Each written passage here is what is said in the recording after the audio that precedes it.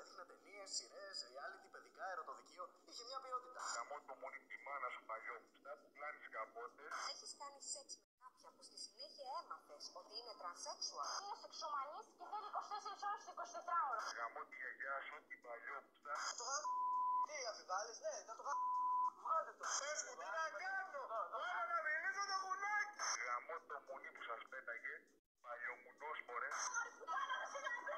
Με τη στρίχη από το μουνί της μάνας σου. Γαμίσου ρε τσόλε. Σου ρωτήρεις θα το έχω κάνει. Ε!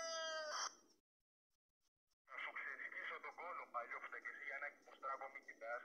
Παλιομουνό θα σου γάμισω τη μάνα. Εντάξει, όταν λέω ποιότητα δεν εννοώ ποιότητα, ποιότητα. Εννοώ ότι μας έδινε καλό, πλούσιο τηλεοπτικό προϊόν. Πώς μέσα σε μια δεκαετία κατάτηση όπως κατάτησε. Οι αφραγίες λόγω της κρίσης σίγουρα έπαιξαν ρόλο, αλλά δεν είναι τόσο απλό. Πιστεύω ότι η παρακμή της ελληνικής TV οφείλεται σε τρεις βασικούς παράγοντες. Λογοκρισία, γυναικοκρατία, γεροντοκρατία.